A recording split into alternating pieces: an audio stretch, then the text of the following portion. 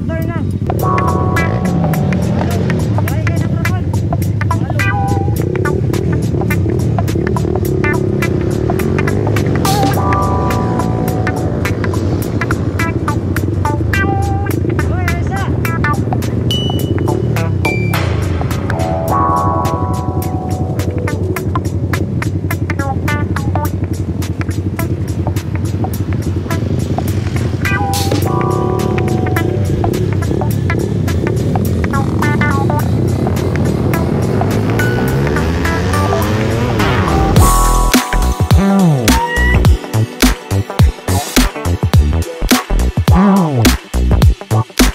Evening mga boss. So, ayun na nga. Kakatapos lang sabak sa kontra R3. So, ito yung sinabak ng Team DRT of Davao City pero taga-tagom yung mekaniko nila si Boss Joar. Shout out to Boss Joar. So, yun na nga. Ito si Super Shark. So, ang specs niya is Campro, then ports, then light piston, then plug and play ECU, tapos open pipe. So, yun lang yung specs niya. Tapos, 1432 combi sprocket. So, yun. Shoutout sa owner nito. Isa kayo owner ane? Ha? Ahmad Yusuf. Shoutout boss. Sobrang lakas ng motor mo. Ah, shoutout Team DRT. Love Nurus, Motodod, Street Superman Mel. So yun. Ah, shoutout na lang din sa mga nakasama na R3 users. So sobrang solid ng bakbakan guys. Abang-abang na lang sa upload.